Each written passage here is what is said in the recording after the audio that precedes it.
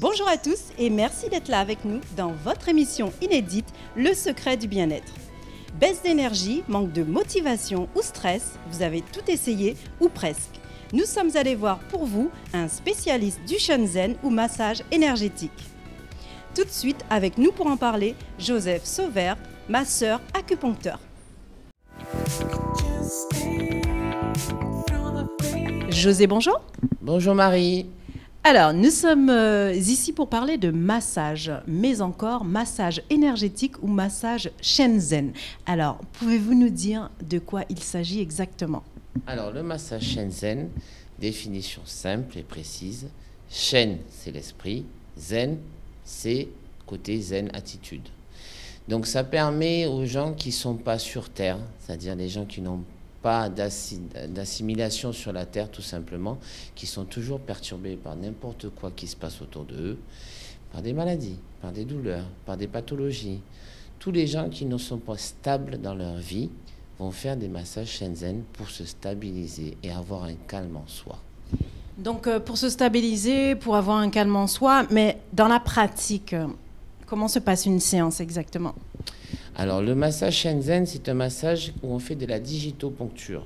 On masse les points maîtres de chaque organe et chaque entraille afin de mettre un élément feu. Chaque organe doit être en feu, c'est-à-dire en mouvement yang, yang, yin. Donc le yin, c'est que de l'émotionnel, c'est de l'immobilité.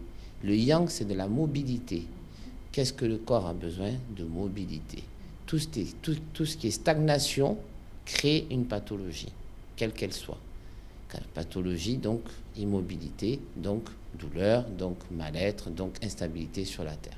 Les Chinois, pourquoi ils ont fait ce massage chinois? Parce que c'est la mobilité qui emmène à ne pas penser. L'immobilité entraîne le corps à avoir des stagnations de sang et le cerveau rumine tout seul. Donc le Shenzhen te permet de relancer tous ces organes en les mettant en feu c'est de la digitopuncture, mais du frottement aussi. C'est pas un massage qu'on me dirait massage. Le massage Shenzhen, c'est trois massages d'abord.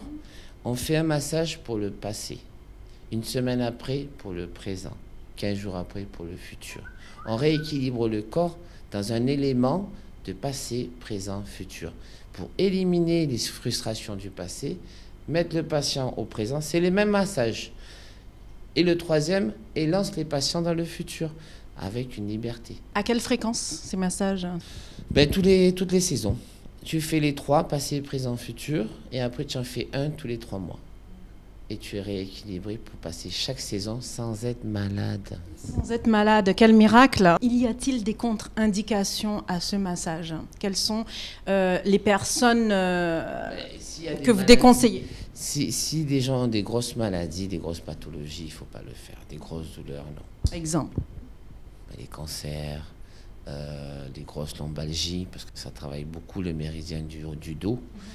Euh, les névralgies, c'est très très dangereux pour une névralgie. Mais en moyenne, moi je le fais pour des patients de jeunes, de 14-15 ans, jusqu'à 80 ans. Alors moi, ce que je propose, bon, je t'ai dit euh, entre nous, je suis acupuncteur, je débloque le méridien du foie en faisant le trois fois sur le pied et je donne une petite tisane à boire à jeun tous les matins. Cette tisane, c'est tout simple. C'est un thé vert dans un bol de 200-300 ml avec un citron vert pressé, une cuillère à café de gingembre, une cuillère à café de curcuma pour tout ce qui est système inflammatoire et osseux, une, une à deux cuillères de miel et une toute petite pincée de poivre. Ça va nettoyer le foie. Et le foie, c'est la machine à laver du sang. Donc ça nettoie tout le système du corps. Merci beaucoup José Sauvert pour toutes ces précisions, tous ces bons conseils. Avec plaisir Marie. Voilà, cette émission est terminée. Merci à vous de nous avoir suivis. Merci également à l'Auberge de la Vieille Tour de nous avoir accueillis dans ses locaux. Je vous donne donc rendez-vous la semaine prochaine dans un nouveau numéro.